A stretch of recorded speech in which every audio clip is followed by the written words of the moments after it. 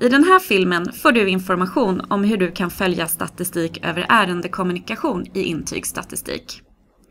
I rapporten Meddelanden totalt kan du följa upp hur många meddelanden som inkommer från Försäkringskassan till hälso och sjukvården på alla de läkarintyg som intygsstatistik täcker.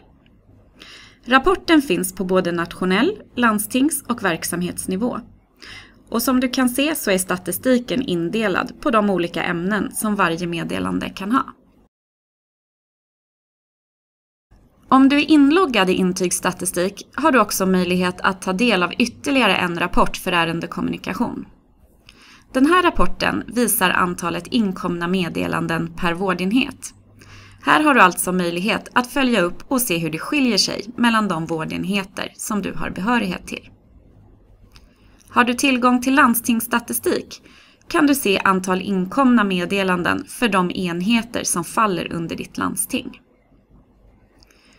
Är du intresserad av att endast se ärendekommunikation för läkarintyget för sjukpenning så kan du filtrera fram det bland dina intygstyper.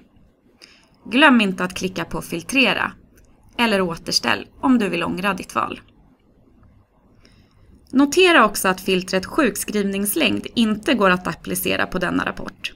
Anledningen är att majoriteten av dessa intyg inte har ett slutdatum och därmed ingen längd.